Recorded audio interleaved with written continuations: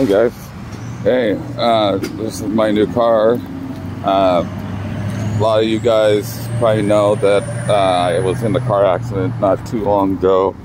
But, uh, um, anyways, I just got my new car. Um, it's really nice. It's a BMW uh, 2013. Uh, really low mileage. But anyways, I just thought uh, you guys might like to see my new car. I'll show you guys inside. It's really, really nice.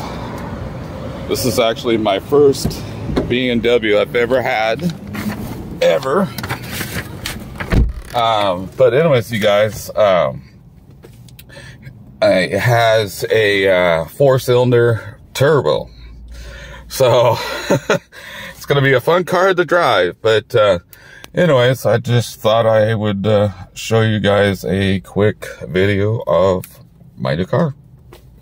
I will be getting other cars, but this is probably going to be my wife's car.